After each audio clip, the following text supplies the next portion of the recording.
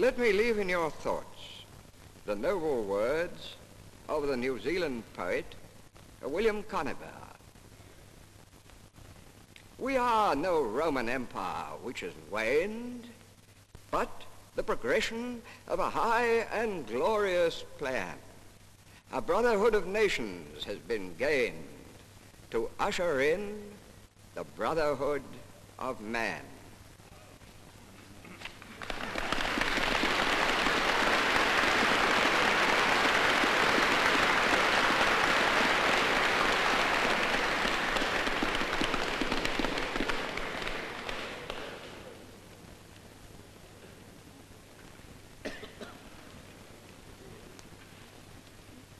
Mr. St. Laurent, it is my privilege as Chamberlain of this city to offer you the right hand of fellowship and to greet you as a citizen of London.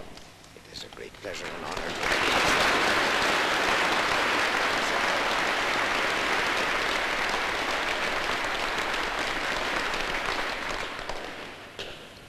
In the name of the Corporation of London, I present you with this casket uh, which contains a copy of your freedom. May this little memento ever serve to remind you of the esteem in which you are held by those who are now your fellow citizens of London.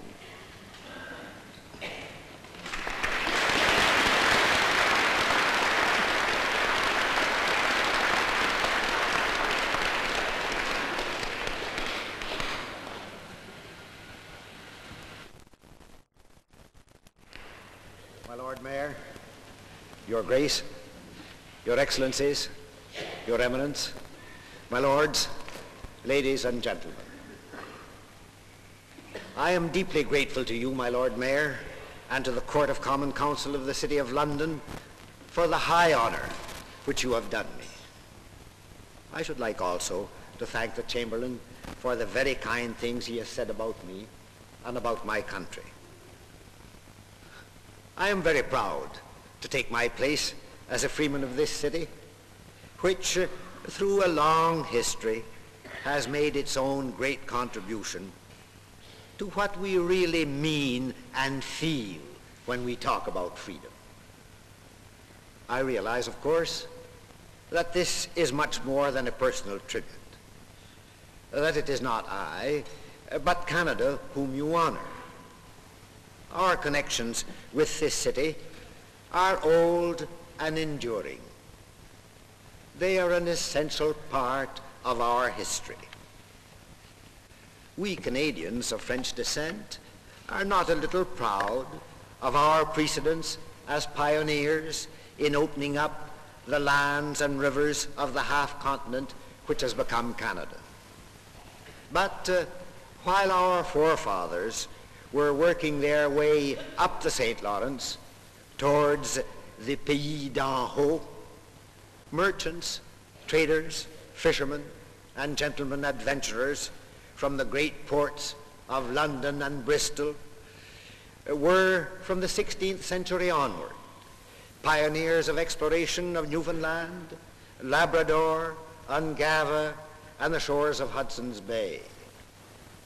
And among the first of these pioneers were those from this city and elsewhere of the Hudson's Bay Company, men who dared much to open up a vast new world.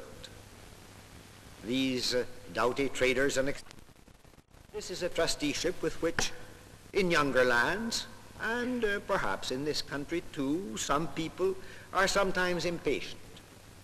And yet it symbolizes in a most striking and visible way the sense of history and the feeling of continuity that underlie, support, and greatly strengthen the free institutions by which we live and in which we put our trust. In this country, you have conceived and developed the idea of a national trust with the deliberate purpose and intention of preserving for succeeding generations of your countrymen historic buildings which have in their time mirrored and kept the style and ways of life of your forebears. it has sometimes seemed to me that in the city of London, this sense of natural piety takes an even wider and livelier form. It was surely wise and right in the rebuilding of this city to give pride of place to the restoration of this noble hall.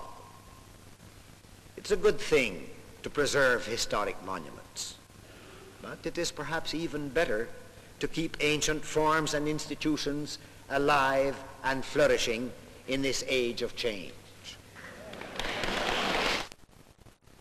Brought up in the province of Canada, whose motto is, Je me souviens, I remember. We are sometimes chided in a new country for this backward glance.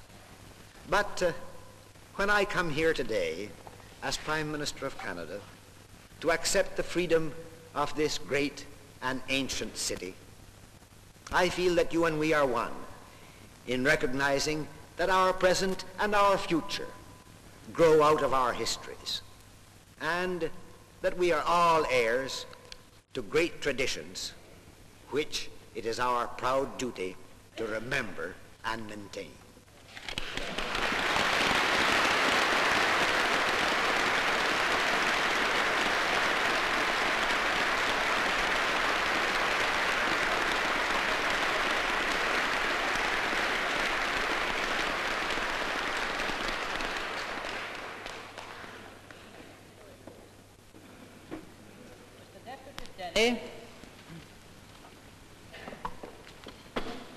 My Lord Mayor, before I move this formal resolution, I feel I must say on behalf of the Court of Common Council, as well as on behalf of all present, how much we have appreciated the Prime Minister of Canada's response to the address, and to thank him for his truly inspiring words.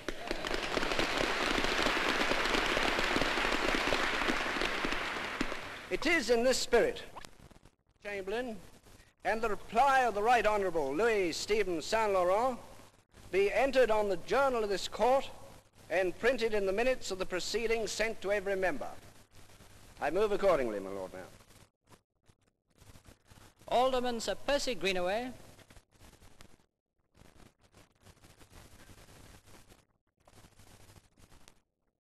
Frank Alexander.